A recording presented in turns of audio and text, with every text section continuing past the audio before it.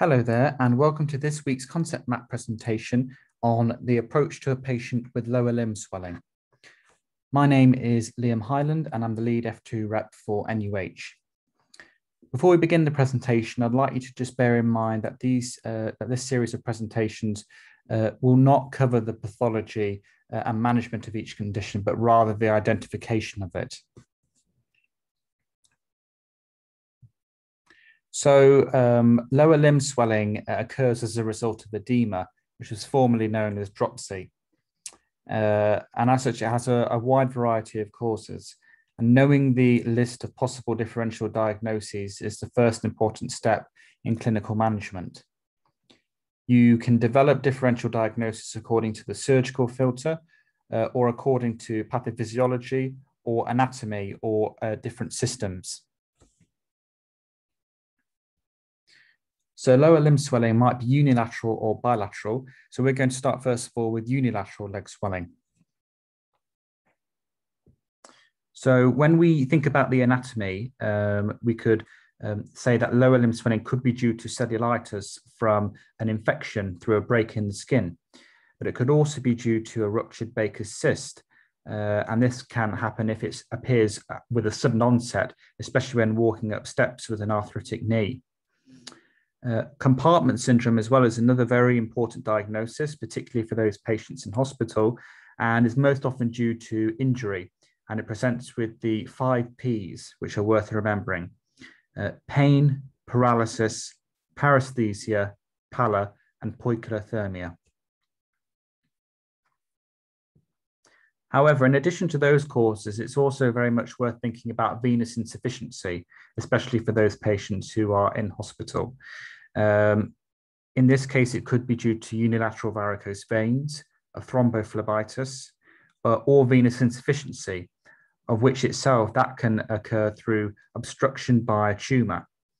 Uh, if no uh, identifiable cause is obvious in an elderly patient, then it's always worth examining their abdomen and also considering performing a digital rectal examination.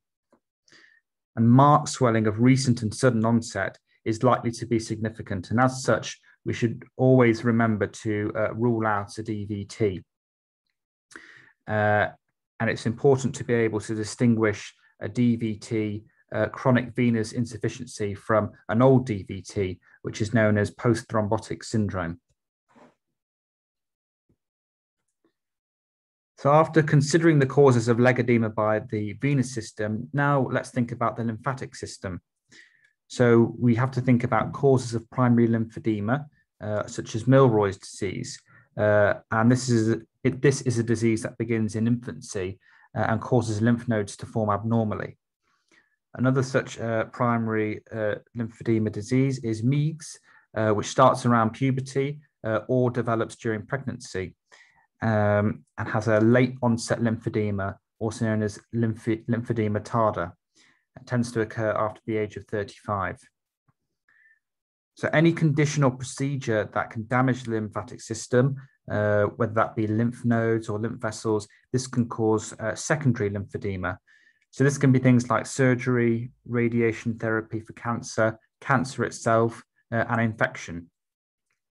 And factors that may increase the risk of developing lymphedema are old age, excess weight, and rheumatoid or psoriatic arthritis all of these potential causes can actually guide you uh, to what specific questions you're going to ask the patient and what signs you should look for. So now let's move on to bilateral leg swelling. Again, we can um, separate these off into uh, venous causes and lymphatic causes. So um, ankle swelling can be uh, symmetrical um, but venous insufficiency in particular can tend to affect uh, one side more so than the other. We must always remember uh, that there are several different drugs that can also cause marked ankle swelling, such as NSAIDs and calcium channel antagonists. Um, but it could also occur as a result of different causes of hypoalbuminemia. And it's also good to check for proteinuria. When taking the history from the patient, it's always worth remembering to ask for shortness of breath on exertion and listening for altered breath sounds, which may indicate uh, heart failure and or cor pulmonale. And in the elderly, the cause is often multifactorial uh, and immobility itself actually plays a major role. Um, this tends to be less common overall, um, lower limb swelling in younger patients, but if it is present, then it's likely to indicate more serious pathology.